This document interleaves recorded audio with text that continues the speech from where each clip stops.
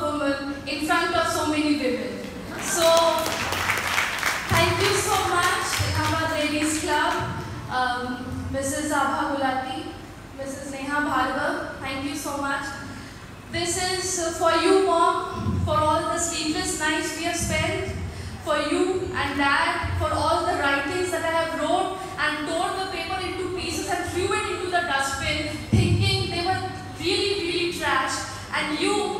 At 3 a.m. in night, you woke up, you picked up those pieces, stuck them with a sellotape, and see, here I am today.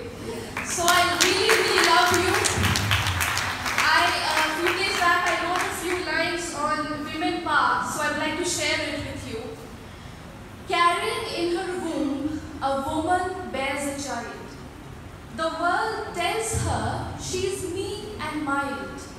She looks at the world with fire in her eyes and realizes this world is full of lies.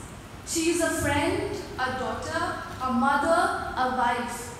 She is half goddess, half earth in just one life. Enough said, a woman must stop her cry. This world's a battlefield, either do or die. Women, come get up and stop your walk, for it's time cheers to womanhood. Thank you so much. Thank you so much.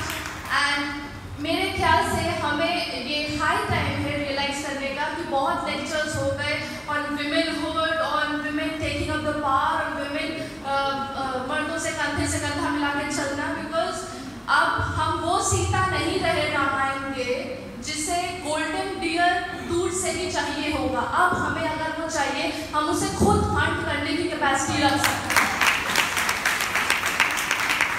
और कई जगह हम देखते हैं buses में trains में कि female seats पर कभी कभी जो रिज़र्व सीट्स है, वहाँ कुछ मेन आके बैठ जाते हैं। मैं आपसे रिक्वेस्ट करती हूँ, कभी उनको, कभी भी रिक्वेस्ट मत करेगा कि वो आपके लिए वो सीट छोड़े। क्योंकि अगर वो एक आदमी बन के आपको अपना फेमिनिन साइड दिखा सकते सकते हैं। आप खड़े खड़े बस या ट्रेन में ट्रैवल करिए पर उनको कभी रिक्वेस्ट मत करिए कि वो छोड़े आपको